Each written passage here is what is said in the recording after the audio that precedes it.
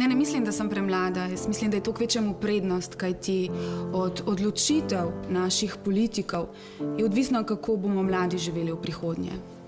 Jaz mislim, da tiste prave, pomembne zgodbe nikoli zares ne potihnejo. In pa predvsem lahko rečem, da edini lobby, ki me vodi, je pravzaprav lobby gledalcev, ker smo tudi mi kritični in profesionalni do dogodkov, o katerih poročamo.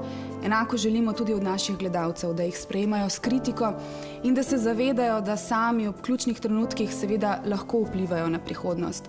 In to je naloga dobrega novinarja, torej da izve tisto, kar želi biti skrito.